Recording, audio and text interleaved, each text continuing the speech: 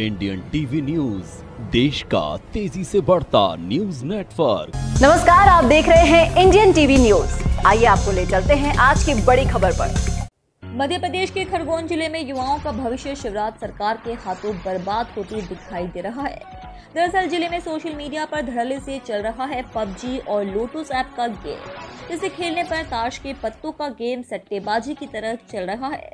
Social media पर जिसमें Rajasthan royal super king जैसे अनेकों गेम भी शामिल है, जो कि एक नशे की बुरी लत की तरह चल रहा है, जिसकी वजह से कई युवा अपना काम धंधा छोड़कर दिन भर और रात भर सोशल मीडिया पर इस गेम के पीछे हाथ धो कर पड़े रहते हैं, जो कि आज की युवा पीढ़ी के स्वास्थ्य के लिए हानिकारक है और शायद इसी गेम की वजह से ही आज ज़िले के कई युवा हज़ारों लाख रुपए गंवाकर अपना भविष्य बर्बाद कर रहे हैं।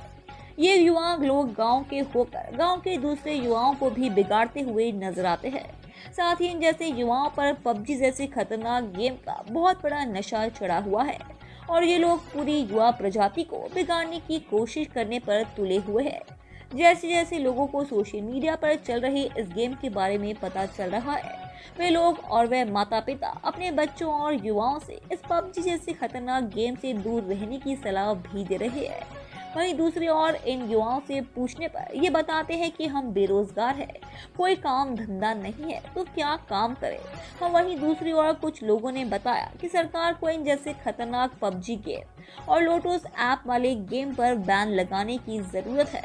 और अगर समय रहते, इन जैसे खतरनाक गेमों पर बैन नहीं लगा तो आगे युवाओं का भविष्य खतरे में पड़ सकता है।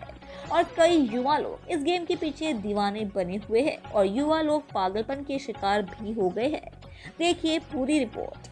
ये है इनसे बात करने की कोशिश करेंगे। क्या लगता है आपको जीवन देख लियो तुम्हारा हिसाब से अभी। भाई चल रहा श्रावण चल रहा जी हाँ भाई ये भाई अपना शादीशुदा भाई है लेकिन ये पबजी में लगातार अपने जीवन को बर्बाद कर रहे हैं। इसी तरह देश दुनिया की हर खबर को जानने के लिए देखते रहिए इंडियन टीवी न्यूज़। हमारे चैनल को सब्सक्राइब कीजिए और हमारे इस वीडियो को शेयर ज़रूर कीजिए। धन्यवाद। फिर मिलते हैं अगली खबर के साथ। इंडियन टीवी न्यूज़ देश का तेज़ी से बढ़ता न्यूज़ नेटवर्क